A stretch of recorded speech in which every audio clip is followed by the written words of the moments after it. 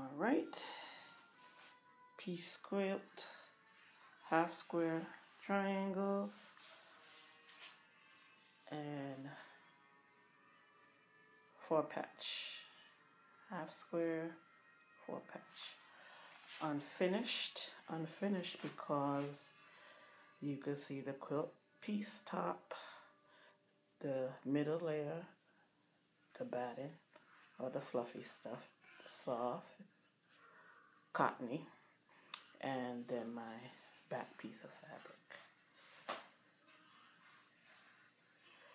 The binding, which is the edging to seal in the three layers together and hold is not attached as yet. And of course the quilt top is not. It's not quilted together yet. There's no quilt design on it. It's just the stitching from the piecing that is done.